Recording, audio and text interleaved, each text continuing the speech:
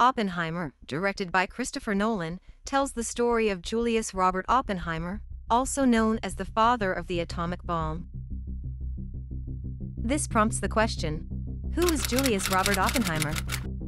In 1939, the US intelligence operatives reported that scientists working for Adolf Hitler were developing a nuclear weapon. This prompted President Franklin Roosevelt to begin the Manhattan Project, the research and development undertaking that created the first nuclear weapons. As the director of the project, Oppenheimer assembled a team of scientists and engineers at the Los Alamos laboratory and oversaw the scientific aspects of the Trinity test. He worked tirelessly, conducting theoretical calculations and simulations to predict the behavior of the nuclear explosion. On July 16, 1945, in a remote desert location, the Trinity test took place. On that fateful day, Oppenheimer stood on the brink of history. The countdown began. Five, four, three, two, one. The blinding flash of light, the rising mushroom cloud. It was a success. The Trinity test had confirmed the terrifying power of the atomic bomb. Am become death, the destroyer of worlds. On August 6th and August 9th, 1945, the cities of Hiroshima and Nagasaki were targeted by devastating nuclear attacks during World War II.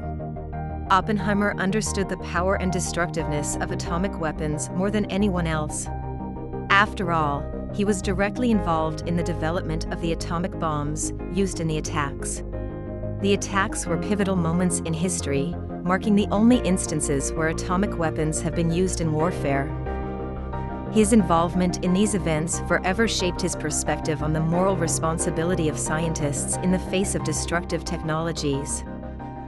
In the aftermath of the bombings, Oppenheimer became an advocate for international control of atomic weapons. He believed in the necessity of preventing the use of these devastating weapons in future conflicts.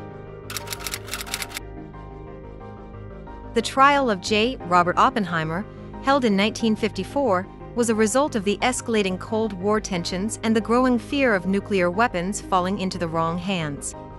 Oppenheimer's actions and associations during his involvement with the Manhattan Project were under scrutiny.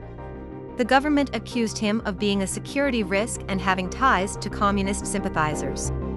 After a lengthy trial and intense deliberations, Oppenheimer's security clearance was revoked, resulting in a significant blow to his career and reputation. The trial became a symbol of the complex relationship between science, politics, and national security during the uncertain times of the Cold War. Just as Oppenheimer grappled with the consequences of his creations, Christopher Nolan's Oppenheimer will challenge viewers to confront the moral complexities that arise from humanity's pursuit of knowledge.